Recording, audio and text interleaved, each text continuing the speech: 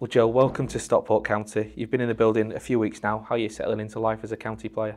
Yeah, it's been uh, it's been a great start to my time here. Really, everyone's been really welcoming with me. Um, uh, both the lads and the staff has, uh, have really kind of welcomed me in, and I've really enjoyed my first few weeks. You obviously had a, a little niggling injury for the last couple of weeks that's kept you out of the first few pre-season games, but back in training now. How are you feeling? Are you, you ready to get back into it? Yeah, it was a bit frustrating. I uh, kind of picked up an injury at the end of um, the first week, but it was nothing serious, so I've been able to obviously get that first week's work, get plenty of work in as well whilst I've been been um, a little bit injured, but I'm back now and yes, uh, it's a relief to be back involved. Obviously, you're joining from Torquay. I mean, for someone at a, a relatively young age, you're joining with plenty of experience already under your belt from your time there. a young Player of the Year last season, played almost every game last season. How do you reflect on your time at Playmore? Yeah, um, I think it was exactly what I needed, um, exactly what um, you know, we, we wanted to get to the Football League and we didn't quite achieve it. Um, so, I mean, the club was great with me. They, they, they, they welcomed me in just as I have been here um, and I really enjoyed my time there. But um, obviously this opportunity came up and I couldn't really turn it down. Yeah, having made the decision to leave this summer, what was it about County that's attracted you here and made you feel this was the right move? Yeah, I think County's a club that, that has been there and done it before. We all know the level it's been at, and you know, um, I've I've kind of made sure I, I know about the club. Um, but it's, it's a club that's on a journey again, this, this you know, really pushing, really, really going to, to win back-to-back -back kind of promotions and, and that kind of ambition is brilliant. Obviously, like I said, it's a club that's been there and done it before, but it's on that journey again and it's something that's really exciting to be a part of.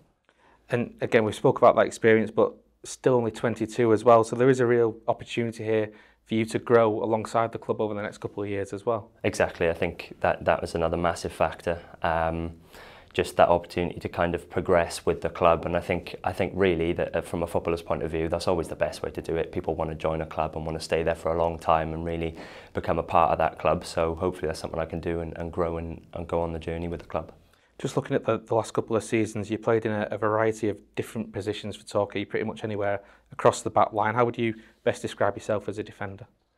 Um, yeah, I've played. Um, we played in a three quite a lot last year. Um, I think someone who likes to get into kind of um, 1v1 situations a lot is comfortable doing that. Um, I like to play at a high intensity um, and yeah, just kind of get into battles, but also get on the ball and, and drive out and, and kind of make things happen as well. And in terms of the, the dressing room here at Carrington, obviously there's a couple of familiar faces in Conor Lemonade Evans and Ben Whitfield, but how have you found the group so far? There's certainly a couple of characters around here. Yeah, I think we just heard a couple of them. Um, but uh, yeah, no, everyone's been great with me. Uh, like I said at the start, it's one of the first things that's kind of jumped out on me is, is how, how well I've been welcomed and, and how great everyone's been with me. And it's not just saying that, it's the truth. And whether it's the fans, the staff, uh, um, like I said, I've, I've met a couple of fans around the place and everyone's, everyone's been great. So yeah, it seems like a great place to be. I asked Connor this question as well, but when you came to Edgeley Park that night in the last week of the season, over 9,000 county fans inside the ground that day, you, you really saw firsthand the potential and the size of this football club. Was that a, a big factor when you come in here? Oh, yeah, I mean, County's clearly a huge football club. Everyone in the league knew it last season, and I think everyone in the league knows it this season.